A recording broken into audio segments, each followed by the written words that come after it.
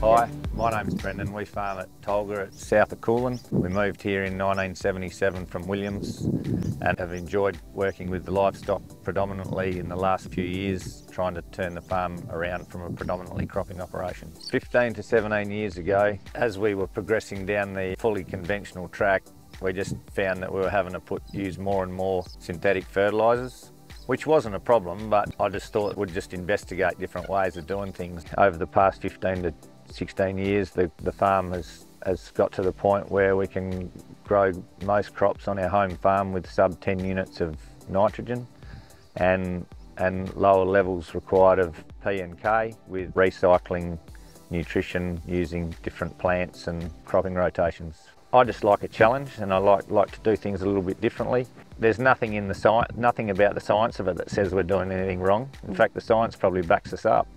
So the hard bit is to turn that science into something that, that it works in a low rainfall, poor soils environment. And, and that, that's probably been the challenge.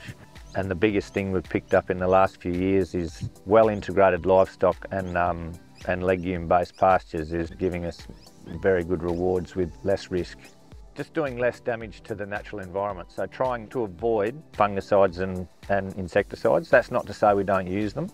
You know, if they're necessary, we use them. There are occasions when you do have, you still have to use it. It's a last resort rather than just being a, you know, blanket operation. Nothing wrong with making a mistake. You just got to um, try not to make it twice. And experimenting keeps you interested. A bit boring doing the same thing every day. And that's the great thing about ag these days. In the old days, everyone did the same thing on the same day. Now you wouldn't know what anyone's doing. You know, we're all doing things differently and having a crack and and hopefully, if people share their ideas, you know, you just want to find out what's working well. Success for us has, has just been trying to improve the soil, trying to take the risk out of the business, having bank managers that don't worry about coming and seeing you because they know that you're not over committed on inputs. That's the challenge to, you know, when you buy land, you want to, you want to try and, try and get it all Mickey Mouse. The tide has turned slowly and, and I think even most conventional guys know now that they don't have to do don't have to smash huge amounts of fertiliser on.